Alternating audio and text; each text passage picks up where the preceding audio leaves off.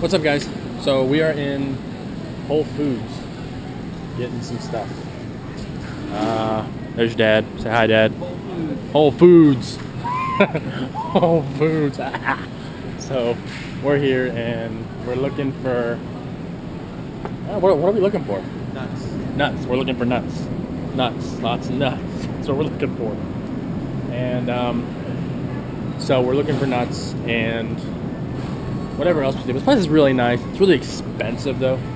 Uh, I don't know. I guess if like some of you know Publix, that's basically what like, like the thing or Mom's, the organic food market kind of place for this place. So, I mean, it's really nice though, but it's expensive as hell.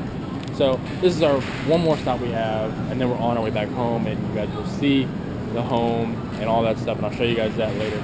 And uh, like I said, we'll keep going because we got more stuff to do tomorrow, the next day, the next day, the next day. So there are going to be more adventures and stuff for us to do. So I will go ahead and let you guys go. Peace out. Love you guys.